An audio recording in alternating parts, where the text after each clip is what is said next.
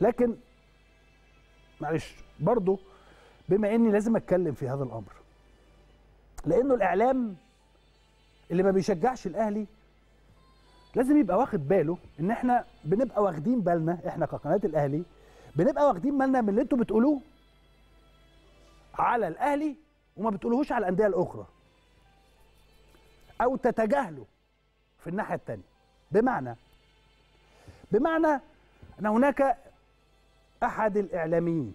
طلع من فترة أيام ما كان كهربا بيلعب في النادي الأهلي وقال لك أصل كهربا شاط ال- البتاع اللي في الأرض ال ice box اللي في الأرض شاط ال ice box اللي في الأرض وعمل وخلى وسوى وكهربا و...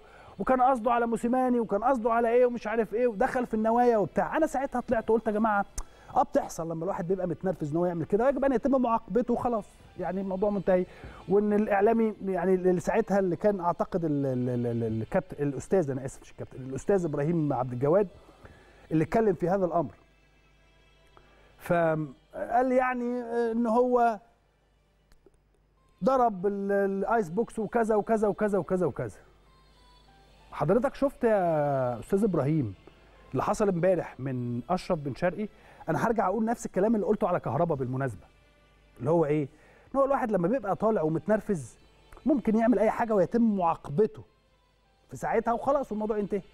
ما باخدوش على موضوع يعني والميديا وصبح وظهر وبالليل وعصر ومغرب وعلى ال social media وهنا وهنا وهنا وهنا وأقول رأيي وأقول كذا وأقول كذا وأقول كذا إلا لو كان عندي أغراض معينة أو أهواء معينة. أنا ما بتهمش إبراهيم على أستاذ أستاذ إبراهيم يعني لكن أنا بتكلم بشكل عام.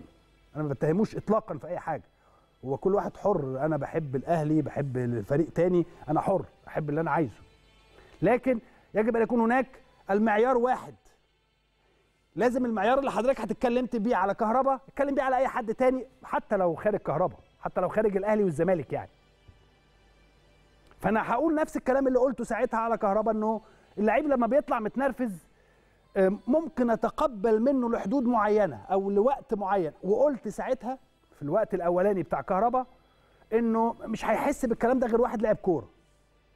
وبقول دلوقتي نفس الكلام.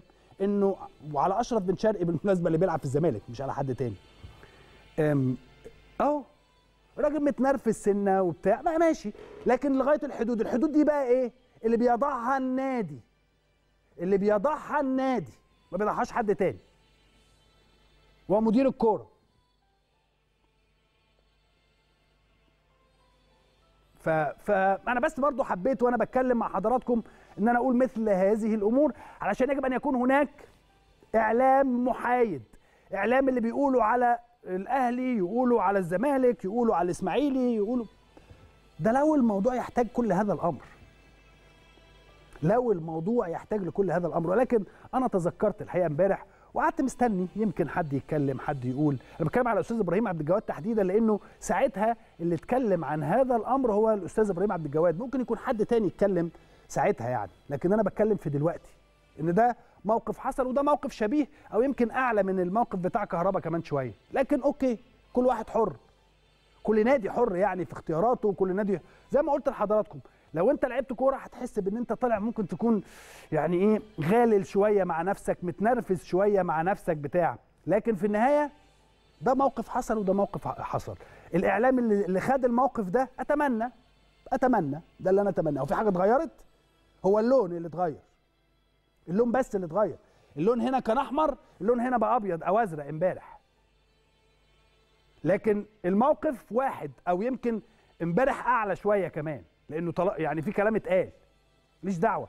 أنا مش بتكلم على الموقف أنا مش عايز أقول كده لكن أنا بتكلم على اعلامي أو حد أو اعلام اتكلم على كهربا في الموقف ده. المفروض ان الاعلام يتكلم برضو على إذا كنت بتتكلم على أخلاق وسلوك. إذا كنت بتتكلم عن أخلاق وسلوك. وأنا قلت نفس كلامي اللي هو إيه؟ هناك مع كهربا قلت عشان كهربا بيلعب في الأهلي أنت ساعتها قلت عشان كهربا بيلعب في الأهلي لأ. كهربا ساعتها قلت يا جماعة اللي ما لعبش كورة مش هيبقى فاهم الموضوع ده قوي. فأنا بكرر كلامي تاني النهارده إن اللي ما لعبش كورة هيبقى مش فاهم قوي إن الواحد لما بيبقى طالع متنرفز وسخن ممكن يقول كلمتين ويعمل حركتين. إيه هي؟ حدود معينة بقى. كل نادي بيضع الحدود اللي بيضعها. فأتمنى إن الناس اللي اتكلمت هنا تتكلم هنا.